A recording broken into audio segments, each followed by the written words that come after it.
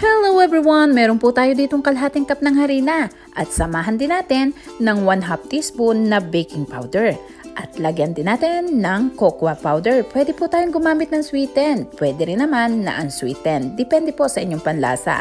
At lagyan din natin ng asukal. Ngayon naman ay samahan natin ng konting-konti lang na asin.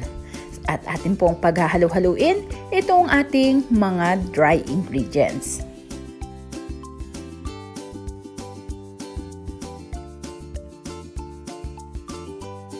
Ngayon naman ay ilagay na natin itong ating gatas. Pwede po tayong gumamit ng evap. Pwede rin po naman na fresh milk. At lalagyan din natin ng tubig. Samahan po natin ng cooking oil at pwede rin po kayong gumamit ng melted butter or margarine. Lagyan din po natin ng konting vanilla. Ngayon naman ay ating paghahalu-haluin at nang magsama-sama ang lahat ng ingredients. Haluin lang po natin hanggang sa mawala yung mga lumps. Kaya naman, this is Bella ang inyong kusinera ng Udelmo's Kitchen. Kung bago ka sa channel na to, syempre, welcome na welcome ka. At kung dati ka naman, welcome back. Kaya naman, don't forget to subscribe, like and share, at pakihit mo na rin ang notification bell. Isama mo na yung all para lagi kang updated sa mga bagong upload.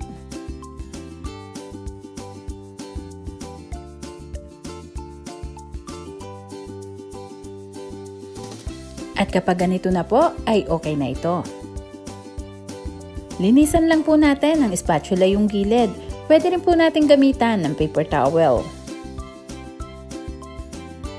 Ngayon naman ay atin na pong ilagay sa microwave at dito po natin siya lulutuin ng 5 minuto lang. Pero ang pagluluto po natin, ang unang set po ng timer ay 2 minutes lang muna So ayan, hintayin lang po nating matapos ang dalawang minuto. Kaya naman, maraming maraming salamat po sa inyong lahat dahil naabot na po natin ang 100,000 subscribers. Kaya naman ang ating pong raffle ay gagawin natin sa July 4, 10 a.m. Pinas time. Kita-kita po tayo para sa ating bigas at sa pabonus na sapatos. So ngayon po ay tapos na yung dalawang minuto. Tingnan po natin yung itsura. Bali ganito po, yung gilid niya ay buo-buo na. Pero yung gitna ay talaga namang hilaw na hilaw pa kaya another 2 minutes na timer po natin.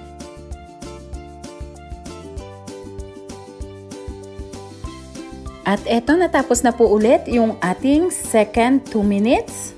Kaya naman ito po yung itsura niya. So buo na siya. Ang kailangan lang natin ay talagang lutuin natin ng lutong-luto. Kaya another 1 minute naman.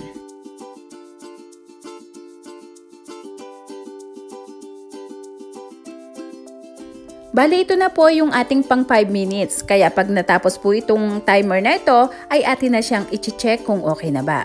So, ayan, ito po, almost perfect na. Kaya i-check natin, gamit lang po tayo ng toothpick. At pag nag-comes out yung toothpick na malinis, luto na po yon. So, ito na. At ating tanggalin na sa microwave. Ingat lang din po kasi medyo mainit.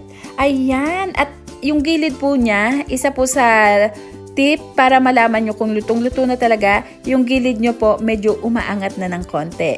Kaya naman, eto na at atin ang titikman. Mega love shoutout everyone po. Bukas na po yung ating pa-shoutout. At ito na po ang ating madali ang cake. Kaya naman, napakabango, umuusok-usok pa. Tikman na natin yan. And maraming maraming salamat pong muli sa inyong lahat. Bye-bye at mag-ingat po tayo.